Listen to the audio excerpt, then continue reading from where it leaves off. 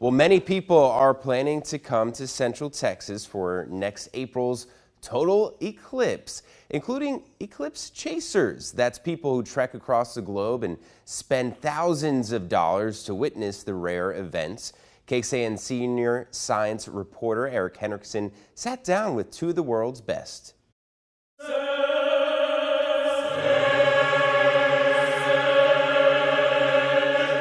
Eclipse chasing isn't for everyone.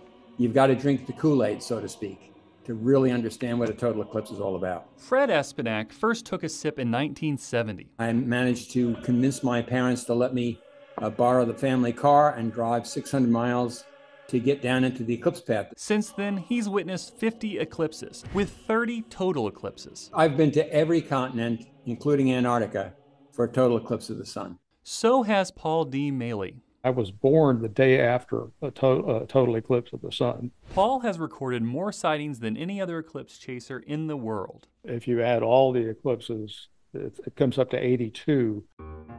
Each year, the two men lead expeditions to witness the celestial events.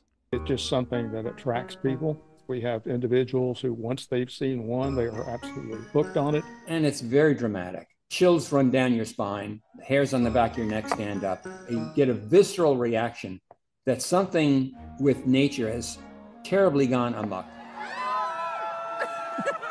In 1983, we had a guy that was so overcome, he was hyperventilating. Planning for an expedition starts years in advance by Looking at years of data, weather data, which, you know, is never almost a guarantee, but it's, it gives you a, clue. even with data, it's not an exact science. I chartered a ship in December of 2021 to go to Antarctica. We were completely clouded out.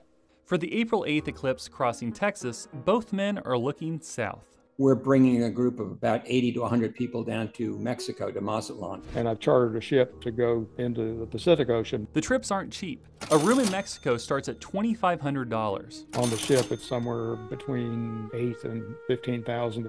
Why drop the down payment of a home to see an eclipse when it's happening in our own backyard? It's not that Texas has bad weather, it's just a little less likely to have good weather than Mexico. For the people who do stay in Texas, There are going to be traffic jams. with so many complications, understanding the obsession may be hard. The words fall short to actually experiencing the total eclipse. You'll, you'll find out. Eric Hendrickson, KXAN News.